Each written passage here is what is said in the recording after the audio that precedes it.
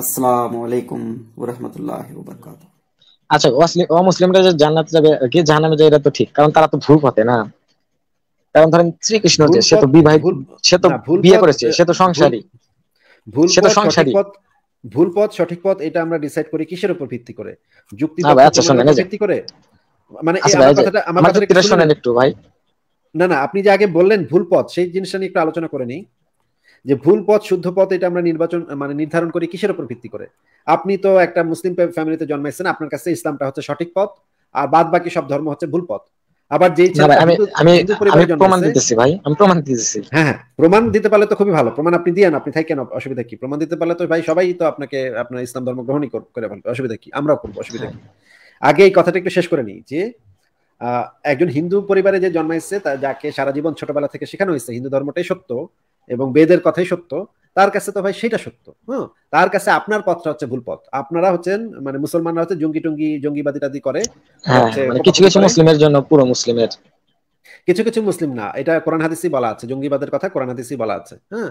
আপনাদের মানে আমি সেই দলিলও দেখাতে পারব মানে মানুষ হত্যা করা এবং মানুষদেরকে মেরে হ্যাঁ এটার উত্তর দেবো ভাই এটার হ্যাঁ সেটার উত্তর আপনি দিয়েন ঠিক আছে? সেটা আমি দেখাবো পরে যে আপনাদের ধর্মে জঙ্গিবাদের কথা বলা আছে মানে মানুষ হত্যা করা মানুষ খুনাখুনি করা কাফেরদেরকে মেরে ফেলা এগুলো আপনার ধর্মে আছে।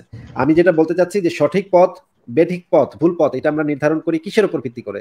যুক্তি তথ্য প্রমাণের উপর ভিত্তি করে নাকি অন্ধবিশ্বাসের উপর ভিত্তি করে? মানে আমার অন্ধবিশ্বাসটা সঠিক অন্ধবিশ্বাস আর তার অন্ধবিশ্বাসটা বেঠিক অন্ধবিশ্বাস। এইটা কি কোনো কথা হইল? কিন্তু আপনি এখন বলবেন আপনি যে এখন যুক্তি দিবেন যে আপনার ধর্মটা কেন সঠিক অমুক ধর্মটা হ্যাঁ। কেন ভুল কিন্তু আপনাকে তো সেই যুক্তি তথ্য প্রমাণ দিয়ে যাচাই বাছাই করে দেখাটাই ইসলাম নিষিদ্ধ করে দিয়েছে। এটা কি আপনি জানেন? না ভাই। তাহলে হ্যাঁ সেটা বলছে যে অন্য? ধর্ম নিয়ে সমালোচনা না করা। না অন্য ধর্ম নিয়ে সমালোচনা নবী নিজেই করছে। এটা সুন্নত। এটা নবী রাসুলের সুন্নত। ইব্রাহিমও অন্য ধর্ম সমালোচনা করছে মোহাম্মদ অন্য ধর্মের সমালোচনা করছে মুসা অন্য ধর্মের সমালোচনা করছে ঈসা অন্য ধর্মের সমালোচনা করছে। অন্য ধর্মের সমালোচনা করা অন্য দেবদেবীকে সমালোচনা করা এটা সরাসরি নবী রাসুলের সুন্নত। এটা কি পাগলের মতো কথা বললেন ভাই আপনি? সমালোচনা না করে নাই তারা শুধু ভুল ধরিয়ে দিছে। ভুল ধরিয়ে দেয় নাই সমালোচনা করেছে কটুক্তি করেছে মানে হচ্ছে গিয়ে তাদেরকে বাতিল ঘোষণা করেছে তাদেরকে কটুক্তি করেছে তাদের কোনো ক্ষমতা নেই এটা বলেছে। এখন এই জিনিসটা তো একজন অমুসলিমের কাছে কটুক্তি মনে হবে তাই না? আমি যদি ইসলামের ভুল আমি যদি মনে করেন মক্কা শরীফে গিয়ে ইসলামের ভুল ধরায় দিই তাহলে কি আমাকে কি তারা আপনারা বলবেন যে আমি ভুল ধরায় দিচ্ছি নাকি আমাকে বলবেন আমরা আমি কটুক্তি করছি? হ্যাঁ তাহলে আপনি যদি অমুসলিমদের হিন্দুদের আপনার কাছে যেটা মনে হচ্ছে ভুল ধরায় দিছি তাদের কাছে তো সেটা কটুক্তি মনে হবে নাকি? হ্যাঁ হ্যাঁ। তাহলে এই যে কটুক্তি যে মানে কটুক্তি করা, অন্য ধর্মের সমালোচনা করা, অন্য ধর্মকে নিয়ে ঠাট্টা তামাশা করা, অন্য ধর্মকে নিয়ে, অন্য ধর্মকে ভুল বলা, এই জিনিসটা তো নবী রাসুলের সুন্নত এবং নবী মোহাম্মদ তো এই জিনিসটা বহুবার করছে। আমি সেই দলিল আপনাকে দেখাবো যে আপনার ধর্মে এই জিনিসটা তো একদম মূর্তি ভেঙা দেয়া। হ্যাঁ মুসলিমদের শুধু সমালোচনার ভিতরেই সীমাবদ্ধ না, একদম মূর্তি টুর্তি মন্দির টন্দির সব ভেঙা ঘুরা দেয়া। আপনার নবী বলে গেছে, মূর্তি ভাঙতে আমি নাদিল হয়েছে, আমি এসেছি মূর্তি ভাঙতে। মূর্তি একটাও রাখব না। আলীকে বলেছে নাকি হে আলী তোমাকে আমি হুকুম দিলাম তুমি সব মূর্তি ভেঙে দাও এবং যত উঁচু কবর আছে সব সমান করে দাও। যাও তুমি গিয়ে সব মূর্তি ভেঙে দিয়ে আসো এবং সমস্ত উঁচু কবর যেগুলো আছে সেগুলোকে সমান করে দিয়ে আসো। এবং তখন আলী তরবারি হাতে নিয়ে মূর্তি ভাঙতে গেছে অমুসলিমদের মূর্তি ভাঙতে গেছে। এখন অমুসলিমদের মূর্তি যদি আপনি ভাঙেন সেটা কি ভাই তাদের জন্য ভালো হবে নাকি তাদের জন্য খারাপ হবে? খারাপ হবে। মানে আপনার হিন্দুরা যদি আপনার সাথে একই কাজ করে আপনার মসজিদে এসে ভেঙে দেয় আপনার কাবা শরীফে এসে ভেঙে দেয় সেটা কি আপনার জন্য ভালো হবে না খারাপ হবে? খারাপ। তাহলে ভাই তাহলে তো ইসলামে তো এই জিনিসটা আছে। আপনি কেন বললেন যে ইসলামে অন্য ধর্ম সম্পর্কে সমালোচনা নাই? আপনি দলিল দেখতে চাইলে আপনি বলবেন যে আমি দলিল দেখতে চাই দলিল দেখান। তখন আমি বের করব। না ভাই এটা আছে হ্যাঁ জানি জানি। আমার কাছে সবকিছু আছে সবকিছু রেডি করা আছে আমি দেখা দিব। আপনি জাস্ট আমাকে বলবেন যে এই- জিনিসটার দলিল দেখান। এই যে মূর্তি ভাঙছে আপনি বললেন এটার দলিল দেখান। এই যে এটা আপনি বললেন এই আলিরে বলছে এটা আপনি দেখান। তখন আমি আপনাকে দেখা দিব। তার আগে আমি আপনাকে যেটা জানতে চাচ্ছি যে আপনি একটু আগে বলছিলেন যে মানে আপনার কাছে নাকি ইসলাম সত্য এটার কোনো প্রমাণ আছে? তাহলে সেটা একটু দেখান। হ্যাঁ মানে যে ধরেন আমাদের আল্লাহ আমাদের আল্লাহর কিন্তু কোনো শরিক নাই এটা কিন্তু প্রমাণিত। হ্যাঁ কোরআনে আছে অন্য অন্যান্য হাদিস আছে যে তিনি একক তার কোনো শরিক নাই। শরিক আছে নাকি নাই সেটার প্রমাণ প্রমাণ তো দিতে হবে ভাই। এটা তো শুধু দাবি হইল। মনে করেন আমি এই দাবি করলাম মানে- যে আমার আমার একটা মামদভূত আছে মামদভূতের তিনটা পাকনা আছে ভাই হ্যাঁ? আমার একটা বইতে লেখা আছে আমার মামদভূতের তিনটা পাকনা এই কথাটা তো দাবি হইল হ্যাঁ এই কথাটা তো প্রমাণ হইল না। আমি যখন আপনাকে প্রমাণ দেখাবো যে হ্যাঁ একটা মামদভূত আছে সেটা তিনটা পাকনাও আছে সেটা হবে প্রমাণ। প্রমাণ আর দাবি কাকে বলে এটা বুঝেন? হ্যাঁ ভাই প্রমাণ তো কুল মানে সুরা আছে না আরে ভাই এটা দাবি হইল এটা তো দাবি হইল। মনে করেন হিন্দুদের ধর্মগ্রন্থে লেখা আছে তাদের হনুমান হইল অনেক বড় হইতে পারে হ্যাঁ? সে সূর্যটা খায় ফেলতে পারে এত বড় হতে পারে সূর্যটা খায় ফেলতে পারে। এটা তাদের গ্রন্থে লেখা আছে। কিন্তু এই কথাটা তো দাবি এটা তো প্রমাণ না। তাহলে তো আপনি তো হাদিস দিয়ে মানে দাবি দিয়া আমাদের ইসলামকে ভুল ধরাই দিতেছেন আমি তো ইসলামকে ভুল ধরাই দিতেছি তাহলে তো ইসলামের দলিল দেখাতে হবে? আমি কি ভাই হিন্দু ধর্মের দলিল দিয়ে ইসলামকে ভুল প্রমাণ করতে পারব? তাহলে আপনি যে বলতেছেন যে এটা দাবি এটা তো দাবি না এটা তো প্রমাণ না তো। মনে করেন আপনাকে যখন আমি বলব ভাই আপনার বাচ্চাটাকে একটু দূরে সরেন না সে তো অনেক চিৎকার করছে। তাহলে কি আপনি দেখছিলেন যে হযরত মুহাম্মদ ওয়াসাল্লাম আয়েশাকে মানে 6 বছর বয়সে বিয়ে করে করছে? আপনি কি নিচের চোখে দেখছিলেন? আমার কথাটা থেকে শুনে নেন আপনি তো বাচ্চাকে দিয়ে কান্না কান্দাইতেছেন। আমি তো কথা বলতে পারছি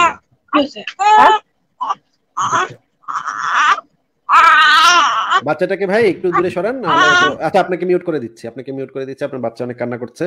নিশ্চয়ই বাচ্চাটা ক্ষুধা পেয়েছে, আপনি তাহলে তাকে মানে খাবার দাবারও দিতে পারেন। আপনাকে একটু মিউট করে রেখেছি। আপনি যে বললেন যে ইসলাম ধর্মের সমালোচনা যখন আমরা করব, তখন তো ইসলাম ধর্মের দলিলগুলা এনেই সমালোচনা করতে হবে। আমি যখন হিন্দু ধর্মের সমালোচনা করব, তখন তো হিন্দু ধর্মের দলিলগুলা এনেই সমালোচনা করতে হবে। মনে করেন হিন্দু ধর্মের ভিতরে জাতপাত প্রথা আছে হ্যাঁ? এখন আমি হিন্দু ধর্মের সমালোচনা করতেছি যে হিন্দু ধর্মের ভিতরে জাতপাত প্রথা আছে, এই জিনিসটা খুবই খারাপ একটা জিনিস। তখন যদি একজন হিন্দু এসে আমাকে বলে যে, ভাই, কই আমার ধর্মে কই জাতপাত প্রথা আছে? না তো, আমার ধর্মে তো জাতপাত প্রথা নাই। তখন আমি তার যে বই, তার যে গ্রন্থ, সেই গ্রন্থটা খুলে দেখাই দিব যে, এই যে এইখানে জাতপাত প্রথার কথা বলা আছে, এই যে দেখো তোমার হিন্দু ধর্মে জাতপাত প্রথা আছে। এই জিনিসটা খারাপ। তার মানে তো এটা না যে আমি তার জাতপাত প্রথার যে মানে যেই ধর্মগ্রন্থটা আমি বের করে দেখাচ্ছি, সেই জিনিসটাকে আমি মেনে নিচ্ছি, তা তো না। কিন্তু আমি এইটা জানি যে তার গ্রন্থে এটা লেখা আছে। এইটা একটা জিনিস হচ্ছে জানা আর একটা হচ্ছে মানা। ঠিক আছে? জানা এবং মানার ভিতরে পার্থক্য আছে, তাই না? মনে করেন আওয়ামী লীগের ভিতরে একজন বড় দুর্নীতিবাদ আছে তখন আমি যখন এটা আমি যখন জানি, তখন আমি যখন সেটা প্রমাণ করব, তখন তো ওই আওয়ামী লীগের নেতার দলিল পত্র তার যে জায়গা সম্পত্তি, সেগুলো দিয়ে তো আমার প্রমাণ করতে হবে। আমি তো ভাই বিএনপির কাছ থেকে দলিল আইনা তো সেটা প্রমাণ করব না। মনে করেন হিন্দু ধর্মের ভিতরে যে জাতপাত প্রথা আছে, সেটা তো আমি ইহুদি ধর্ম থেকে দলিল আইনা তো সেটা প্রমাণ করতে পারব না, তাই না?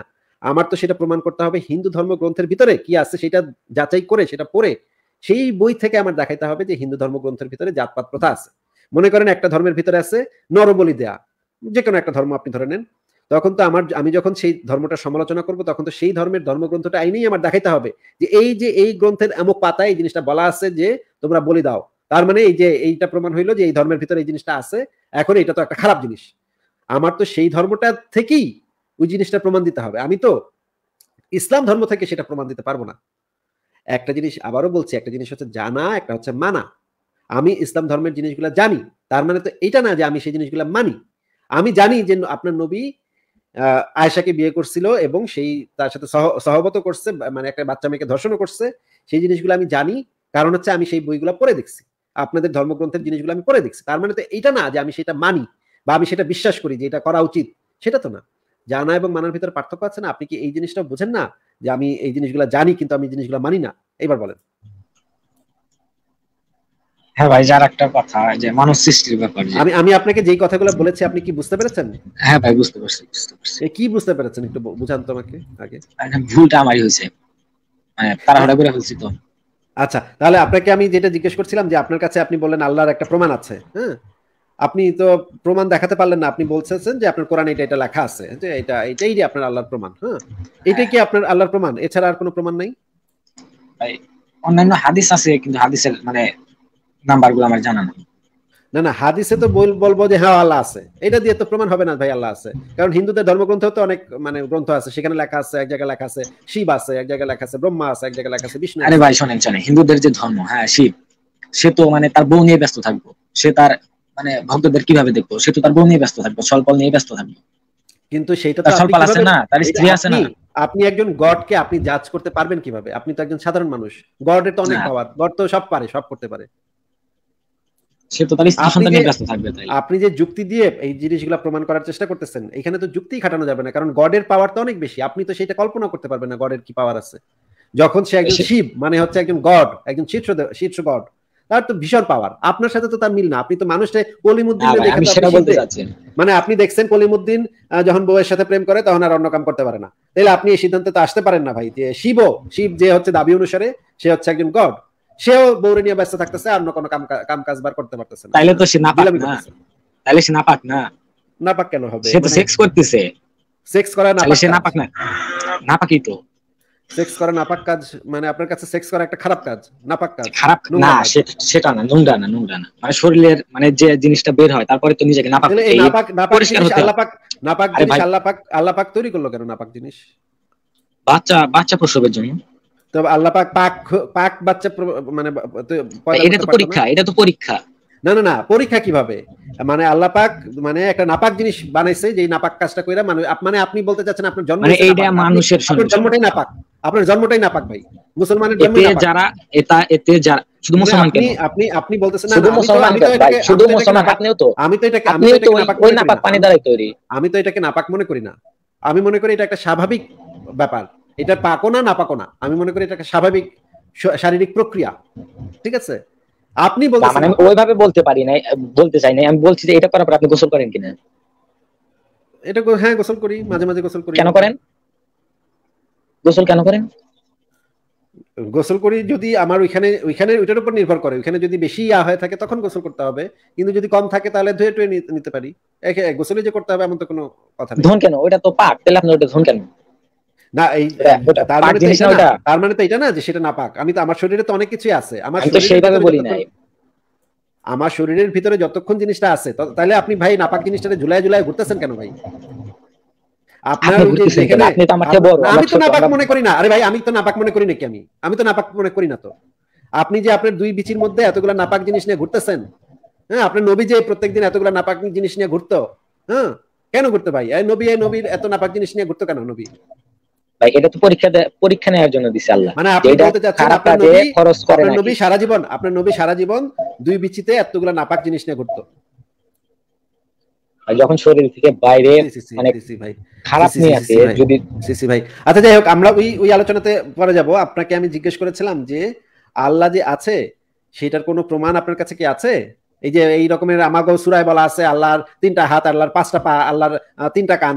এই সমস্ত ধুনফুন বাদ দিয়ে যেটা হিন্দুদের গ্রন্থ লেখা আছে আমাকে দেবতার চারটা মাথা তিনটা পা ছয়টা নাক পনেরোটা আঙ্গুল এরকম ধুনফুন বাদ দিয়ে কোনো প্রমাণ আছে কিনা? সামনাসামনি তাকে দেখা যাবে না। এখন সামনাসামনি দেখার কথা তো আমি বলি নাই ভাই সামনাসামনি দেখার কথা তো আমি বলি নাই আমি একবারও বলি নাই সামনাসামনি দেখাতে হবে। সেটা আমি বলেছি আমি আমরা তো করোনা ভাইরাসকে তো আমরা দেখি না তাই না? করোনা ভাইরাস তো অনেক ক্ষুদ্র। প্রমাণ পাই। আমরা যেমন ব্যথা অনুভব করতে পারি না কিন্তু ব্যথা আছে। বাতাস অনুভব করি কিন্তু বাতাস দেখতে পারি না। তেমন আল্লাহ আছে কিন্তু আমরা বাতাসকে তো আমরা পরীক্ষার মাধ্যমে প্রমাণ করতে পারি। মনে করেন আপনি ক্লাস ফাইভে পড়েন নাই যে একটা দুইটা বেলুন নিলেন একটা বেলুনের ভিতরে বাতাস ভরলেন আর একটা বেলুনের ভিতরে বাতাস ভরলেন না। তারপর দুইটা আপনি মাপলেন। মাপার পর দেখতে পাইলেন যে যেটার ভিতরে বাতাস ভরা আছে সেটার সেটার ওজনটা একটু বেশি। যেটার ভিতরে বাতাস নাই সেটার থেকে। তার মানে সেখান থেকে আপনি প্রমাণ করতে পারেন যে এই বাতাসটারও একটা ওজন আছে বাতাসটাও একটা স্থান দখল করে বাতাস বাতাসটা একটা পদার্থ। এই জিনিসগুলো ভাই ক্লাস ফাইভ এ সিক্স এ পড়েন নাই?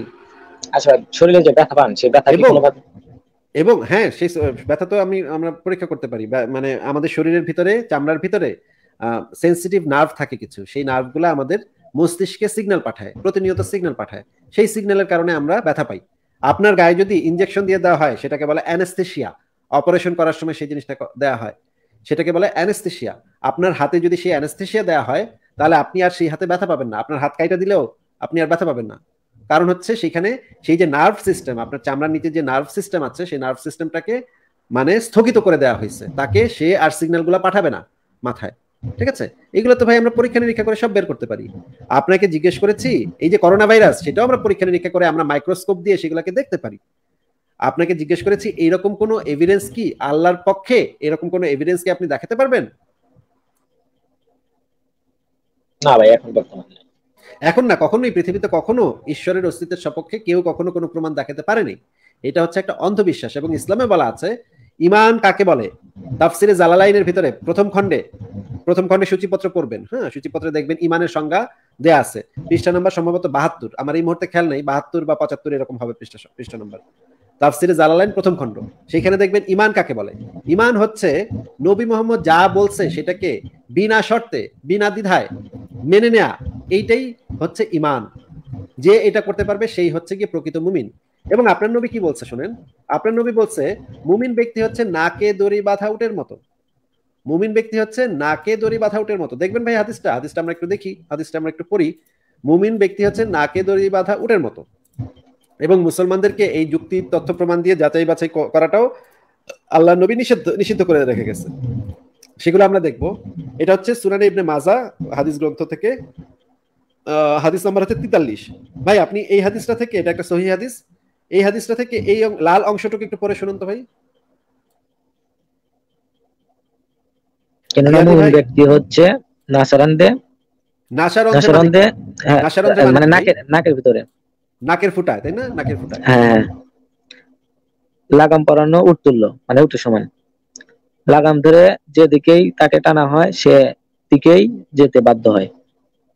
আচ্ছা তাহলে উপরে আরও কি বলা আছে আপনি পড়েন যে অতএব তোমাদের উপর তোমাদের নিকট আমার আদর্শ হিদায়তপ্রাপ্ত খোলাফায় রাশিদিনের আদর্শ অনুসরণ করা অবশ্য কর্তব্য। তোমরা তা শক্তভাবে দাঁত দিয়ে আঁকড়ে ধরে থাকবে। তোমরা অবশ্যই আনুগত্য করবে যদি হাফসি গোলামও তোমাদের নেতা নিযুক্ত হয়। কেননা মুমিন ব্যক্তি হচ্ছে নাসার অঞ্চলে লাগাম পরানো উঠতুল্য মানে মুমিন হচ্ছে নাসা নাকে দড়ি বাঁধা উটের মতো নাকি? হ্যাঁ মানে আপনাকে যে কোরআন এবং সুন্না যেটা দিয়ে দেওয়া হয়েছে সেটা আপনি অক্ষরে অক্ষরে পালন করবেন। আর কোনো নিজে কোনো চিন্তা ভালো করবেন না। সেটা তো আমাদের ভালোর জন্য। ভালোর জন্য নাকি মন্দর জন্য সেটা তো আমি বলিনি। আমি বলেছি আপনি নিজস্ব কোনো চিন্তা ভাবনা নিজের বুদ্ধি খাটায় যে আপনি যাচাই বাছাই করবেন সেইটা ইসলামে সম্পূর্ণভাবে নিষিদ্ধ। এখন আপনাকে আমি একটা বই থেকে দেখাবো। সেই বইটার নাম হচ্ছে ইমাম আবু হানিফার যে আকিদা সেই আকিদা গ্রন্থ সেই বইটা বাংলায় অনুবাদ করেছেন ডক্টর আবদুল্লাহ জাহাঙ্গীর। নাম শুনেছেন ভাই? ডক্টর আবদুল্লাহ জাহাঙ্গীরের অনু সম্পাদিত এই যে যে বইটা আছে সেই বইটা থেকে আমি কয়েকটা পাতা আপনাকে পড়ে শোনাচ্ছি।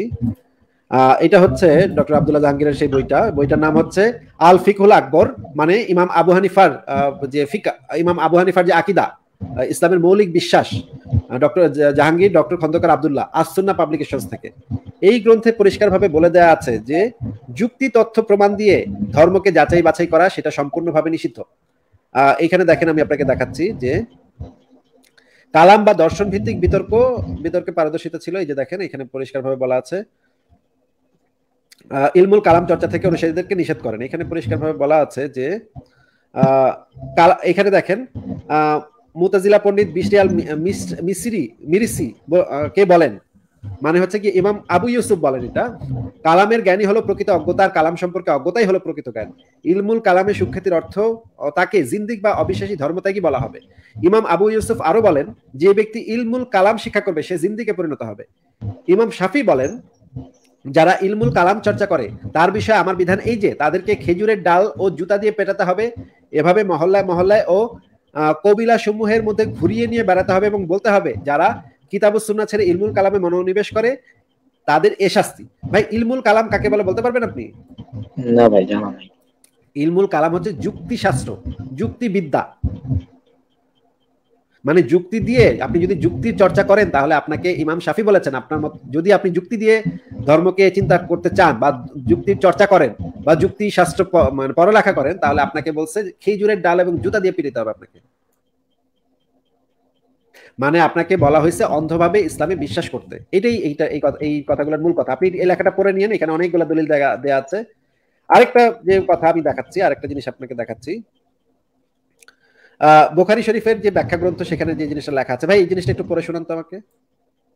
লাল দাগ দেওয়া। হ্যাঁ হ্যাঁ লাল দাগ দেওয়া পড়ে শোনান।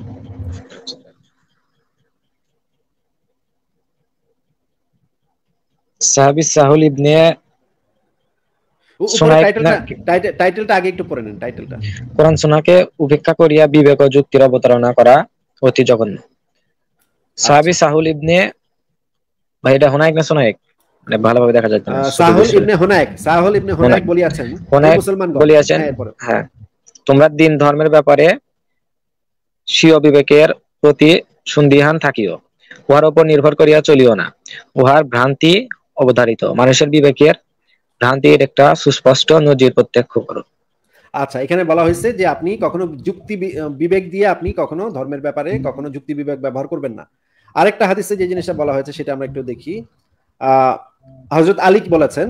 যে ধর্মের মাপকাঠি যদি রায়ের মন গড়া অভিমত বিবেক বিবেচনার বিবেক বিবেচনার উপর নির্ভরশীল হতো তাহলে মোজার উপরিভাগের চেয়ে তলার দিকে মাসা করাই অধিক যুক্তিসঙ্গত হতো। অথচ নবী সাল্লাহ সাল্লাম তার পায়ের মোজাদের উপরিভাগই মাসা করেছেন। তার মানে হচ্ছে ধর্মের ব্যাপারে বিবেক বুদ্ধি যুক্তি এগুলা ব্যবহার করা সম্পূর্ণ হারাম। এবং এই বিষয়ে সৌদি আরব থেকে সরাসরি ফতোয়াও দেয়া আছে। ফতোয়াটাও আপনাকে আমি দেখাচ্ছি যে এই বিষয়ে ফতোয়াতে কি বলে। এইখানে একটা ফটো আমি দেখাচ্ছি। এই ফটোটা দিয়েছেন বিন বাজ। বিন বাজের নাম শুনেছেন ভাই? না ভাই শুনিনি। সারা পৃথিবীর সবচেয়ে বড় ইসলামিক আলেম ছিলেন উনি। অন্ধ একজন মানে ইয়া ছিলেন। সৌদি আরবের গ্র্যান্ড মুফতি ছিলেন। নাম শোনেন নাই ভাই? না ভাই। ও বাপরে, বলেন কি? হচ্ছে সারা পৃথিবীর বর্তমান সময়ে যত আলেম আছে তাদের হেড গুরু ছিলেন। হ্যাঁ বোধহয় সম্ভবত কিছুদিন আগে মারা গেছে বোধহয়। অন্ধ অন্ধ একজন ইয়া ছিলেন, ঠিক আছে? ওনার যে ফতোয়া, ওনার ফতোয়া থেকে আমি দেখাচ্ছি এটার বাংলা অনুবাদ আমি করেছি, আমরা করেছি। বাংলা অনুবাদটাতে বলা হচ্ছে কৌতূহল বশত ইসলাম ব্যতীত অন্য ধর্মগ্রন্থ, অন্য ধর্মের ধর্মগ্রন্থ পড়া কি আমাদের পক্ষে বৈধ? বিনবাজ উত্তর দিয়েছেন মুসলমানের জন্য তৌরাত বাইবেল ও অন্য ধর্মগ্রন্থ পড়া উচিত নয় কারণ এর মাধ্যমে সন্দেহ ও সংশয় সৃষ্টি হতে পারে। দেখা যাচ্ছে ভাই? হ্যাঁ ভাই দেখা যাচ্ছে। আচ্ছা এরকম আরও অনেকগুলো রেফারেন্স আছে যেখানে পরিষ্কার ভাবে বলা হচ্ছে যে একবার নবী কি করছিল? নবী ওমরকে ধমক দিছিল। সেটাও দেখাই। এই যে এটা হচ্ছে ইসলাম কিউএতে একটা ফতোয়া দেওয়া হয়েছিল। ফতোয়া দেওয়া হয়েছে এখনও ফতোয়াটা আছে।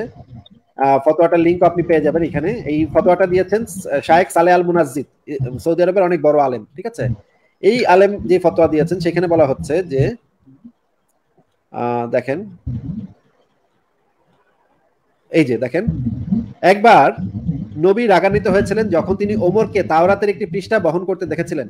এবং তাদের উচিত নয় এই সমস্ত কিতাব পড়া যাতে আছে সত্য ও মিথ্যা উভয়ের মিশ্রণ অথবা বর্ণনা করা যা তারা সেখান থেকে শিখেছে কেননা তা তাদের বিশ্বাসের জন্য ক্ষতিকর হতে পারে। এই একজন মুসলমানের জন্য উচিত না অন্য ধর্মগ্রন্থ পড়া। দেখা যাচ্ছে ভাই? হ্যাঁ ভাই দেখা যাচ্ছে।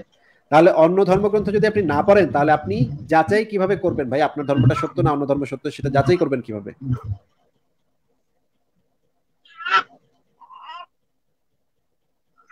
জিয়াদি ভাই বলেন আপনি যাচাই কীভাবে করবেন? পড়তে হবে। না পড়তে তো না করে দিছে আপনাকে তো নিষেধ করে দিছে। অন্য ধর্মগ্রন্থ পড়া যাবে না।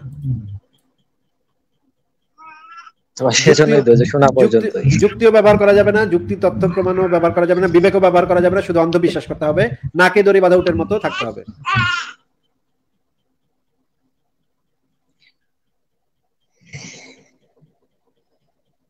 এখন বলেন ভাই আপনার ধর্মে আপনার ধর্মটা যে সত্য সেটার তো কোনো প্রমাণ নাই।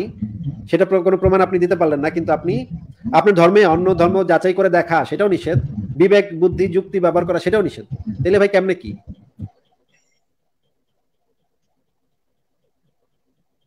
তাহলে ভাই আমরা কীভাবে যাচাই করে দেখব যে কোন ধর্মটা সত্য? সেটা জানা নাই। ঠিক আছে তাহলে এই জিনিসগুলো নিয়ে চিন্তা করেন আমি যে লেখাগুলো দেখালাম সেই লেখাগুলো একটু পড়ে নিন। ঠিক আছে আজকে তাহলে বিদায় জানাই ঠিক আছে? হ্যাঁ ভাই যে লাস্ট একটা কথা আপনার জন্য না অন্য সব নাস্তিকদের জন্য যে তারা যে বলে যে মুসলমানরা কুরবানি মানে গরু কুরবানি দেয় হত্যা করে। এটা বলে না অনেক নাস্তিকরা বলে না? হ্যাঁ বলতেই পারে কুরবানি তো দেয়নি তো দেন না? হ্যাঁ ভাই দেই তো। কিন্তু যারা বলে তারা তো নিজেও মাছ খায় অন্য কোনো শাকসবজি খায় তাদের তো প্রাণ আছে না। তারা নিজেও খায় মুসলমানদের শুধু দোষ দেয় কেন যে গরু কুরবানি করে? কিন্তু নাস্তিকরা তো কাউকে খুশি করার জন্য কোনো একটা ঐশ্বরিক সত্তাকে খুশি করার জন্য তো কোনো প্রাণী হত্যা করে না। তারা তাদের প্রয়োজনের কারণে খায়। প্রয়োজন ভাই প্রয়োজন যখন হয় তখন নাস্তিকরাও খায় আমরা তো সেটা মানে খালাই দিই আমরা তো গরিবদের মাঝে গরিবদের কথাটা একটু শুনে নেন কথাটা একটু শুনে নেন কথাটা একটু শুনে নেন কথা শেষ করতে দেন আগে। কথা হচ্ছে যে আপনাদের কোরআনে তো, হাদিসে তো বলা আছে, শুধুমাত্র আল্লাহকে সন্তুষ্ট করার জন্য কোরবানি দিতে হবে। শুধুমাত্র, কেবলমাত্র আল্লাহকে সন্তুষ্ট করার জন্য কোরবানি দিতে হবে। কোরআন, হাদিসের কোথাও নাই যে গরিব মানুষকে দিতে হবে, দেয়াটা বাধ্যতামূলক। এরকম কোনো কথা কোরআন, হাদিসের কোথাও নাই। আপনি কি দেখাতে পারবেন? না ভাই পরে কিন্তু ছোট থেকে শুনে আসছে যে তিন ভাগে ওগুলা ভুয়া কথা ওগুলা ভুয়া কথা এরকম কোনো দলিল নেই হ্যাঁ? ওগুলা হচ্ছে পরবর্তী সময় মানুষজন এগুলো বানাইছে। কিন্তু কোরআন হাদিসের কোথাও নাই যে দেয়াটা বাধ্যতামূলক। আপনি যদি চান সব মাংস নিজেই খাওয়া ফেলতে পারেন কোনো সমস্যা নেই। ঠিক আছে ভাই আপনি এখান থেকে এখান থেকে অনেক সাউন্ড হচ্ছে আপনাকে আমি একটু মিউট করে কথাগুলো বলে নিই তাহলে। আপনাকে যেটা বলতেছি যে কোরআনে পরিষ্কারভাবে বলা হয়েছে শুধুমাত্র আল্লাহকে সন্তুষ্ট করার জন্য কোরবানি দেওয়ার কথা বলা হয়েছে শুধুমাত্র। আপনার উদ্দেশ্য যদি থাকে গরিব মানুষকে আমি খাওয়াবো, তাহলে সে তাহলে আপনার কোরবানি একবারও হয় নাই। আপনার কোরবানির একমাত্র উদ্দেশ্য থাকতে হবে শুধুমাত্র আল্লাহকে সন্তুষ্ট করার জন্য। আল্লাহকে সন্তুষ্ট করার জন্যই কোরবানি দিতে বলা হয়েছে। এখন, এইটা ভাই কেমন আল্লাহ? যে আল্লাহ হচ্ছে কি একটা নিরীহ পশুকে হত্যা করলে সে সন্তুষ্ট হয়, সে খুশি হয়। এইটা ভাই কেমন আল্লাহ? এবং এই আল্লাহকে খুশি করার জন্য আপনারাও বা কেন কোরবানি দেন? এই জিনিসটা তো ভাই আমরা বুঝি না। মানে একটা পশুকে, একটা নিরীহ পশুকে ধৈরাই না তাকে জবাই করতে হবে আপনার আল্লাহকে সন্তুষ্ট করার জন্য। এইটা ভাই কেমন কথা? এই জিনিসটা তো আমরা বুঝি না।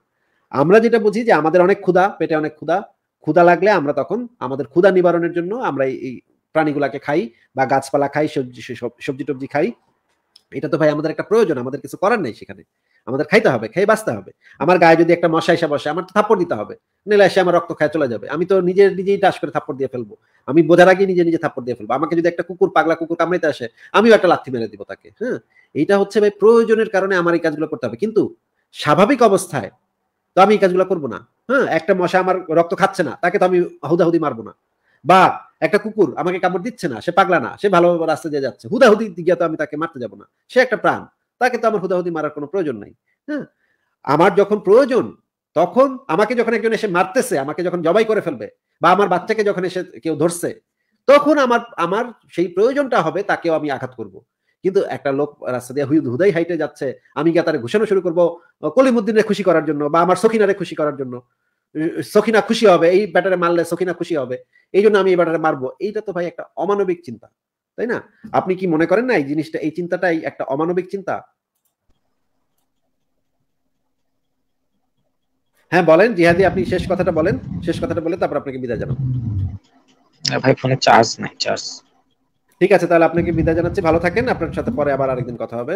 আপনার এখান থেকে খুবই বিকট শব্দ হচ্ছিল আপনাকে আর রাখাও যাচ্ছিল না তাহলে আপনাকে বিদায় জানালাম।